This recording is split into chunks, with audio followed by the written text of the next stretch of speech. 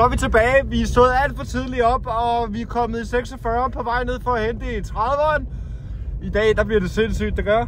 Vi skal til konfirmationskørsel, og så skal vi op til noget øh, private og, og hvad hedder det, inviters only øh, træf op i Nordsjælland med det, den lille af. Så det bliver super spændende. Følg med her. Det træf, vi skal til, det er øh, hos... Øh, jamen, ja, han, er, han er ikke så vild med at få sit navn ud, så jeg vil ikke sige alt for meget om, hvem han er. Jeg vil sige, med de biler, han har, der burde han have 10 gange så mange følgere, som jeg har.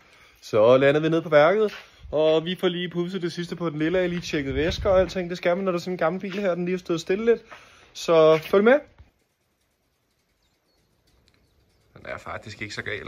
Jeg troede faktisk, den var mere beskidt. Den plejer at være så dirty hernede, fordi hjulene de sprøjter lortet op på her. Så, jamen, øh, vi kører hjem til Claus og ser, om øh, vi kan finde på noget morgenmad. Hygger lidt, inden vi tager afsted til konfirmationskørsel. Følg med!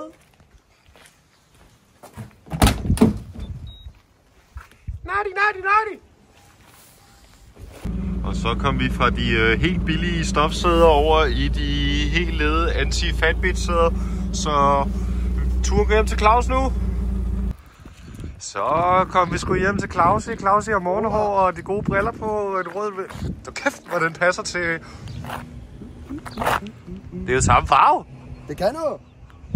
Jeg kører ned med den der dåse næste gang, jeg skal have lavet farveprøve, så siger den, det skal bare match. Nå, vi har fået rengjort i 30'eren, og nu står den på konfirmation lige om lidt. Så landede vi op ved kirken her. Og jeg ved godt, hvad jeg helst vil det sige selv.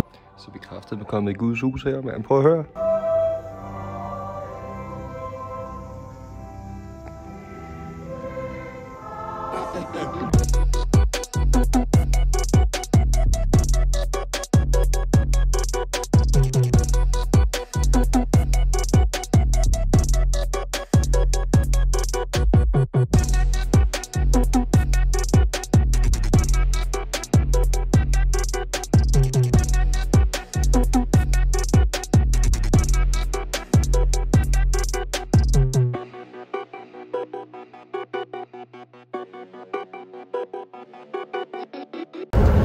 Så fik vi sendt en øh, konfirmationsbi mere på en øh, god konfirmation.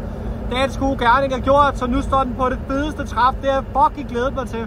Så følg med! Der kræftede en BMW-træf, mand. Gammel Super.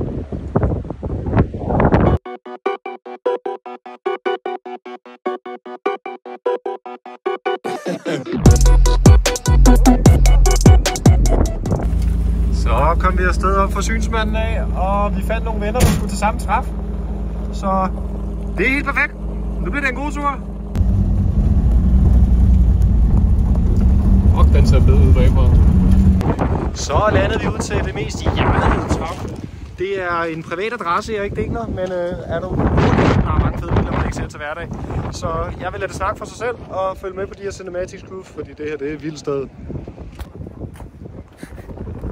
Vil du ikke sige noget? Kan du ikke slå mig med den her skovl her? Jeg tror ikke, det er meget sjovt på videoen. Så får vi visninger så.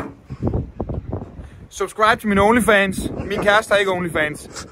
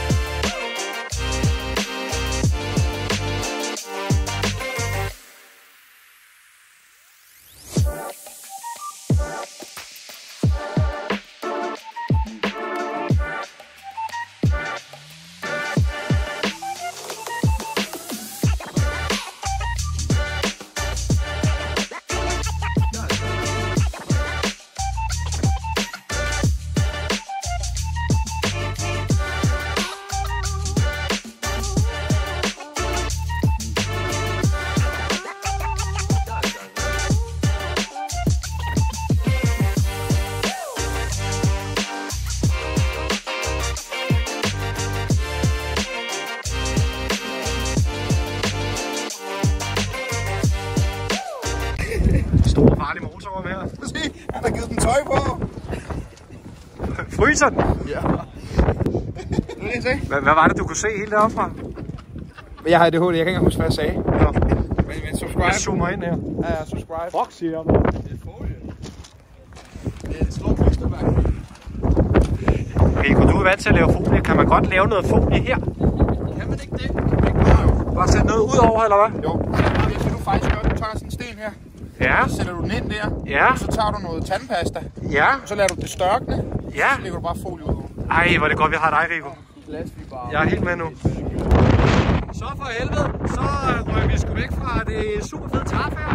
Vi er kommet på noget fotoshoot her med Lydom Foto. Så ja, vi slutter vloggen for i dag. Og husk at se med, husk at like, husk at subscribe, husk at gøre det hele. Vi ses. Håber I kan høre med noget, der er fucking meget fedt.